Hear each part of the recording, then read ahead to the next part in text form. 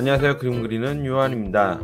네, 여기 숫자를 보시면 5, 네, 다섯 번째 스케치북 리뷰를 진행하려고 하는데요. 네, 지난번에 일곱 번째 스케치북이 끝나자마자 바로 리뷰를 해서 이제 여섯 번째 스케치북 리뷰 하나만을 남겨두고 있습니다. 다섯 번째 스케치북은 어디 보면은 올해 2월 24일부터 4월 18일까지 그림을 그렸고요. 여기 보니까 제가 대만 출장 때 창밖으로 보이는 풍경을 그렸던 게 이렇게 별지로 들어가 있네요. 네, 이렇게 호텔에서 있는 메모지를 갖다가 어, 그림 그리는 어, 종이로 활용하시면은 또 추억도 되고 좋으실 수 있을 것 같습니다. 다섯 번째 스케치북 역시 세르지오 스케치북이고요. 중목결에 300g 그렇게 되어 있습니다. 첫 번째는 어, 제가 내었었던 위드로 주제네요. 네, 그 어반 스케치로 비행기 그리기라는 주제를 제가 냈었고 만년필로 칠한 아니, 만년필로 스케치한 후에 그 수채 채색을 했던 네, 그런 주제였고요. 이거는 이제 마카를 활용해서 그렸던 건데 어, EDM 과제네요. 31번째 어, 뭐, 자기가 모아놓은 게 뭔가 있, 는가라는 건데, 예전에 마카 세트를 구매한 게 있어서 그려봤고요. 이거는 뭔가 메탈릭한 것을 그려보라 그래서 자전거 거치대가 맞나요? 네, 그걸 그려봤고. 눈을 그려봐라 주제.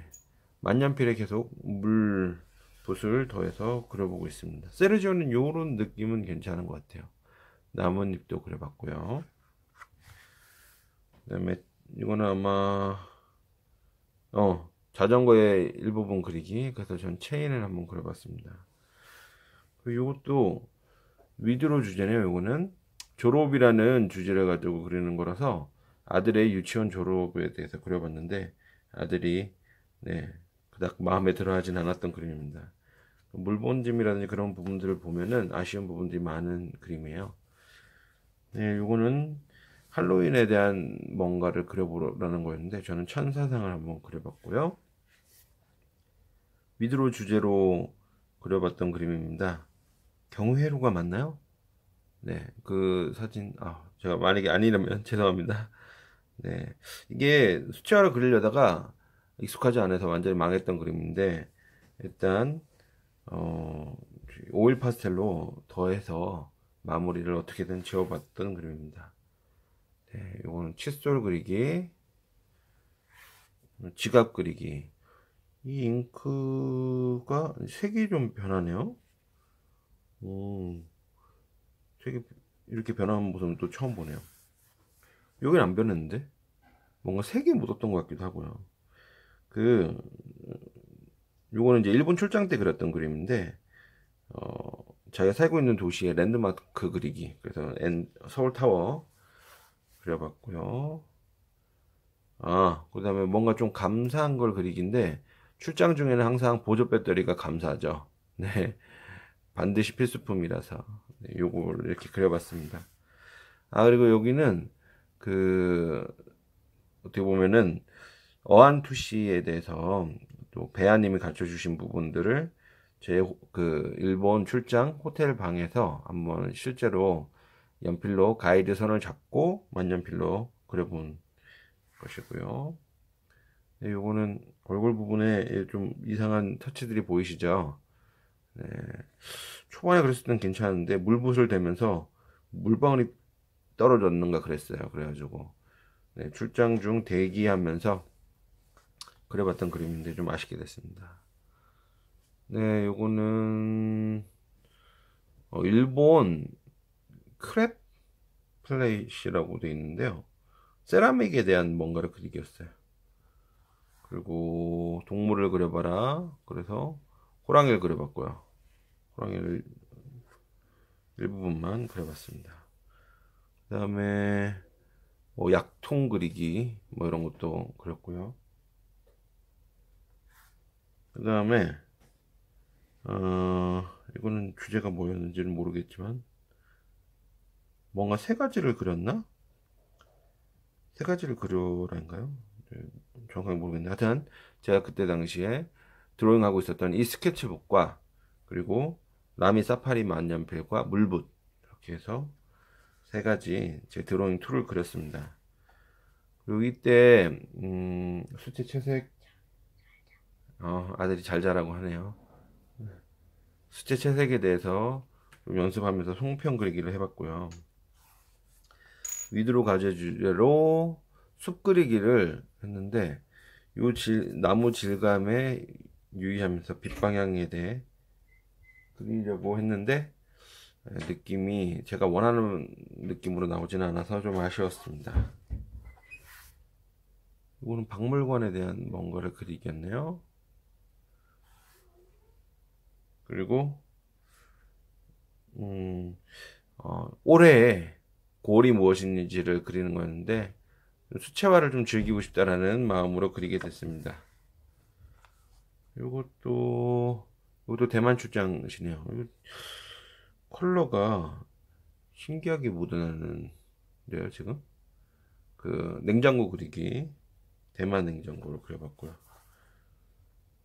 그리고 home entry 어, 저는 호텔 방을 그려봤습니다. 638호에 머무르고 있었네요.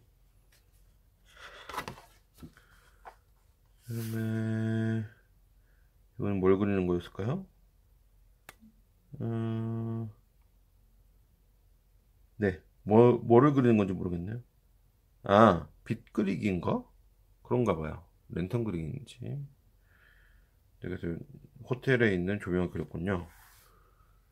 그 다음에 아, 좋아 좋아하는 TV쇼를 그려라. 네, 무한도전이 이제 종영되게 됐었는데, 어, 그것을 생각하면서 그려봤습니다. 그 다음에, 음, 아마, 음, 엔트에 관련된 것을 그리기 아니, 었으면 뭐 개를 그리기였는 것 같은데요. 어쨌든, 이모님이 기르고 계시던, 어, 강아지, 콜리를 그려봤고요. 아, 요거는 입그리기였는데, 나 다시 돌아갈래. 네, 박하사탕의, 어, 모습을 좀 그려봤습니다. 어, Draw Something You Love 주제였는데, 네, 출장 중이라서 또 이걸 그린 거예요. 레이저 자로 뭔가 이렇게 측정할 부분들이 있었기 때문에, 네, 그 마침 있길래 그려봤고요. 손, 문손잡이를 그려봐라. 이런 주제를, 네, 또 그려봤습니다. 아, 요거는 좀 참 아쉬웠는데, 이때, 그러니까 수채화에 대해서 계속 감을 못 잡고 있는 거예요. 어떻게 그려야 되나. 매화 그리기인가 그랬는데, 어, 스케치 없이 해본다고 해봤는데, 네, 참 쉽지 않더라고요. 어, 이건 자화상 그리기였는데, 약간, 어, blind drawing을 한 후에, 약간 색연필로 develop을 해본 케이스네요.